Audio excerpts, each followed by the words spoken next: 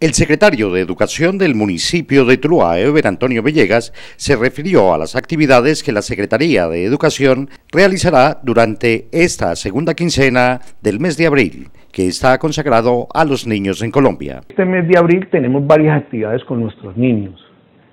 Eh, el día 22 de abril tenemos escuela al parque con las TAS, con dos instituciones educativas, institución educativa La Moderna, institución educativa de Occidente, en el Polideportivo de Buenos Aires.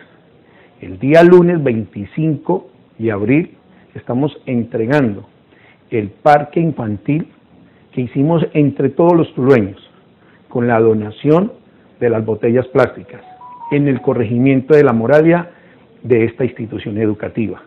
Y el día 29 de abril vamos a hacer escuela al parque con las TAS en la zona rural para celebrar con todos los niños de la zona urbana y zona rural este mes que es tan importante para nuestros chiquillos.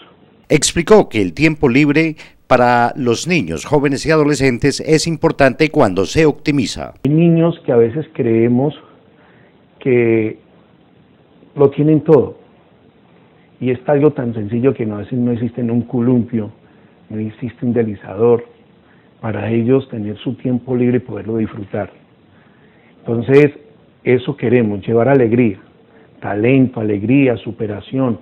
Queremos llevar también eh, tu ambiente sano, que estos ambientes sean tan sanos y a través de unas botellas, que son a veces vemos tan insignificantes, pero que si todos nos unimos a hacer grandes horas, las logramos. Esos modelos serán replicados en otros sitios. Claro, ahorita iniciamos otro proyecto con las mismas botellas, nos vamos a reunir con los rectores y vamos a escoger un proyecto entre todos cuál es el que va a seguir.